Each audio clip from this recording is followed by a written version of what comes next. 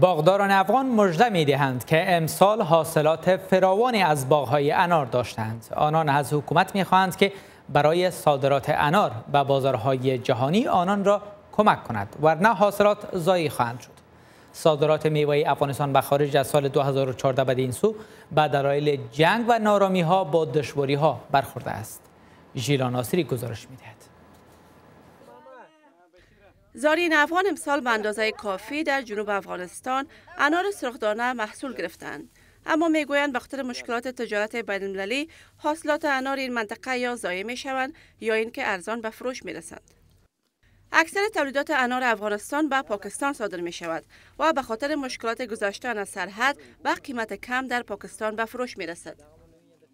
مشکلات سرحدی بین دو کشور مانع عمده فروش تولیدات افغانی در بازار جهانی شده است.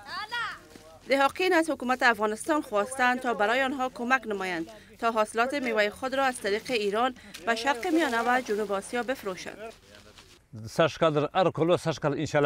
سطح حاصلات انار امسال بسیار بلند است اما با بازار فروش دسترسی نداریم. ما از حکومت می خواهیم تا یک بازار خوب بیرونی را برای ما مهیا کند.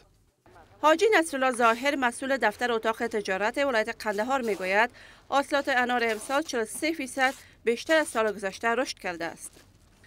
مقامات حکومتی در کابل در حالی که عدم بازاریابی خارجی برای تولیدات میوه افغانستان را تایید می کنند می‌گویند آنها تلاش دارند فراتر از پاکستان این حاصلات را به کشورهای دیگر صادر نمایند.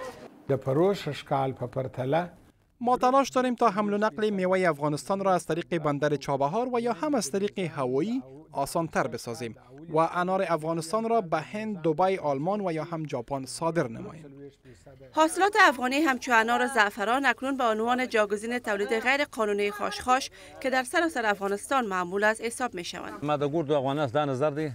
من از تمام دهاقین افغان می خواهم که کشت کوکنار را توقف بدهند و در عوض محصولات انار را ترویج کنند زیرا کشت کوکنار هیچ سودی ندارد. میلیاردها دلار برای مبارزه با کشت غیر قانونی خاشخاش در افغانستان به مصرف رسیده است. اما تاکنون تجارت مواد مخدر در افغانستان کاهش نیافته است. ژینا ناصری تلویزیون آشنای صدای آمریکا واشنگتن دی سی.